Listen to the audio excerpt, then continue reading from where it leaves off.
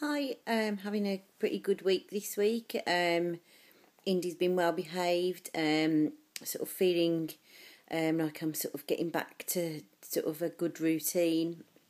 Um, my skin is um, actually sort of returning to um, normal now. Um, I felt my my skin was pretty drained after um, after being pregnant. Um, you know, baby takes all the goodness out of you.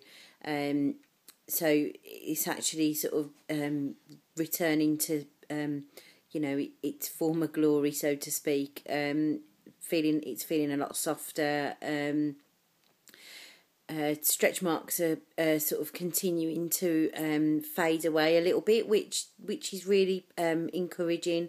Um, you know, I'm just going to continue doing what I've already been doing, um, using the bio oil um, which I'm really pleased with the results that it's giving me so far. So um, I think I might have to go and buy some more because um, it's it's I've now sort of using it as part of like my, daily routine.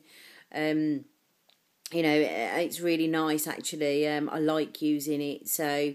Um, and I'm seeing results, so it's encouraging to keep keep on using it. Um, so hopefully that will just continue to sort of get better and better.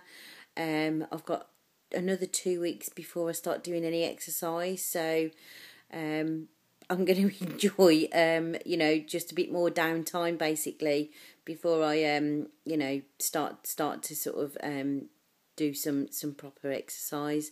Um, it'd be nice to sort of get out maybe to do um, a class maybe once once of an evening um, in the week. Um, so hopefully my partner can look after baby.